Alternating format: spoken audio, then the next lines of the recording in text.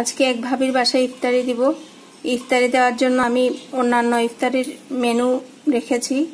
তার মধ্যে আমার সবচেয়ে মেইন যে আইটেমটা ছিল, এটা হচ্ছে ক্ষীর ফালুদা, যেটা আমার একটা প্রিয় ডেজার্ট কি কি বানালাম, কীভাবে আমি ক্ষীর ফালুদাটা রেডি করলাম, বানালাম, এটা দেখার জন্য আমার সঙ্গে থাকেন।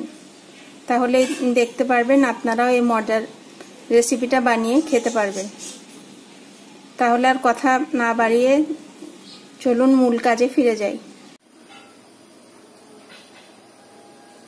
আসসালামু আলাইকুম, রমজানুল মোবারক। আশা করি সবাই ভালো আছেন। আমি এখানে চুলার মধ্যে আড়াই কেজির মতো দুধ দিয়েছি। দুধটাকে আমি জাল করে নিচ্ছি। এটাকে আমি জাল করে ঘন করে ক্ষীর বানাবো। আমি এটা দিয়ে ক্ষীর ফালুদা করব। আমারকে এক ভাবির বাসার থেকে ইফতার দিয়েছিল। ইফতারে অনেক মজা মজার আইটেম ছিল, তাই আজকে আমি ওনাকে ইফতারে দিব। তাই সকাল থেকে প্রিপারেশন নিচ্ছি। এখন দুধটা জাল করে এরকম অনবরত জাল করতে হবে। দুধের ক্ষীর করতে হলে দুধটা নাড়া বন্ধ করা যাবে না।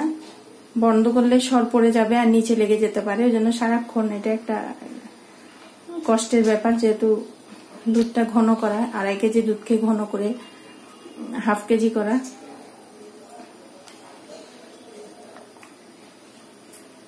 আমি বিভিন্ন রকম ভাবে ফালুদা বানানোর ট্রাই করি।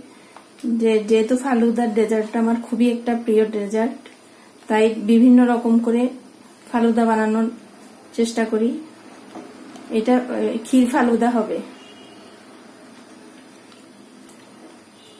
এখানে ক্ষীরের সাথে শুধু কলা মিশাবো আর অন্যান্য কিছুই মিশাবো না, আর একটু চিনি মিশাবো।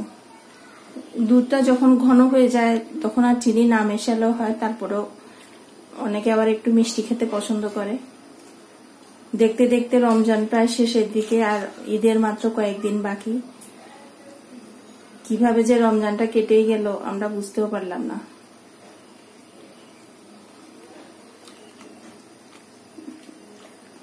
এটা আরও ঘন, এরকম জাল দিতে দিতে আরও ঘন হয়ে আসবে। যখন আরও ঘন হয়ে আসবে, তখন আপনাদেরকে দেখাবো কীভাবে আমি কি করছি, আরও কি কি আইটেম তৈরি করছি। প্রিয় দর্শক, আমি ভাবির বাসায় ইফতারি দেওয়ার জন্য মোটামুটি ইফতারিগুলো রেডি করে নিয়েছি। আমার ক্ষীর ফালুদাটাও রেডি আর কালো বাটিতে আছে মাটন কষা ব্রেড রোল শর্মা আর পরোটা।